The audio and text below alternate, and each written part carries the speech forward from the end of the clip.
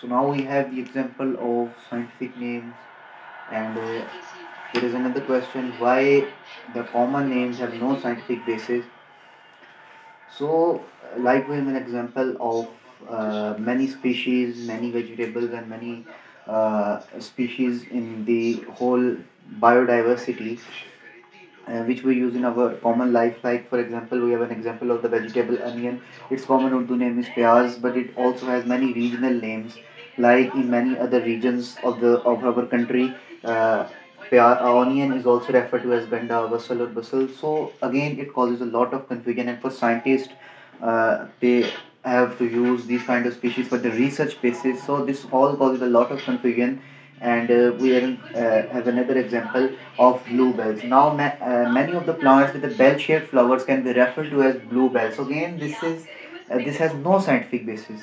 And again we have another example, another terminology, another example of blackbird. Now a crow as well as a raven, a raven can be referred to as a blackbird. So now there is a lot of biodiversity because of the evolution.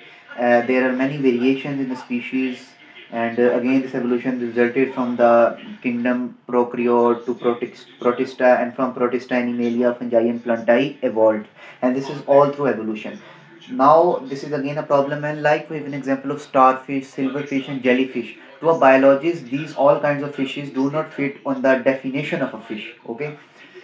So these are just common names. They have no scientific basis and it basis and it causes uh, confusion so there should be a one scientific name for each species because each species is distinct.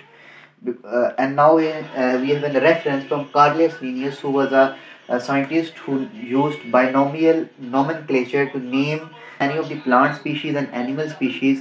In 1753 he published his list of the plant species and in 1758 he published the scientific names of the animal species.